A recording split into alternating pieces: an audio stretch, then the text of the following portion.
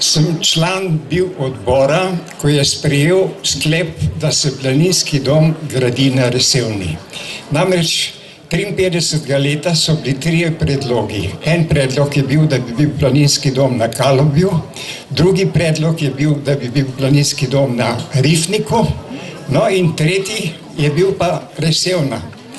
Jaz kot športnik in takrat je bila smučarija že precej razširjena, lahko smuk se je 52. leta pričel, ko je bila zelo pomembna športna prireditev, več let na cel, celem štajerskem območju in sem tudi iz tega stališča bil za to, da se planinski dom gradi na Resevni in glasovanje v odboru je bilo eh, pet proti sedem.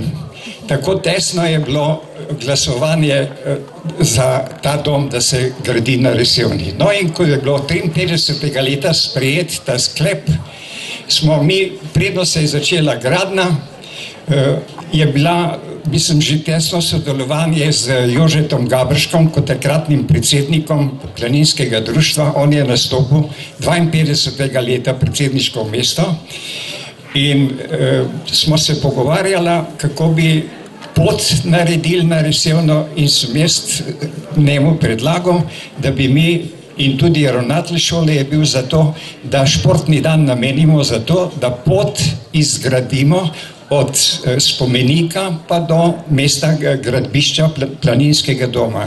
No in učenci z naše šole so takrat z urodji krampi, lopatami, motikami prišli in smo to pot od spomenika pa tudi do doma izgradili v enem dnevu.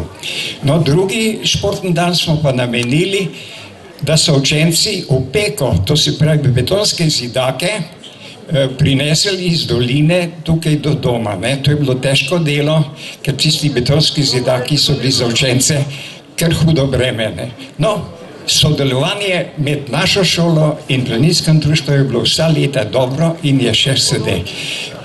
Vsem planincem želim še čim večkrat, da obiščete našo lepo resevno.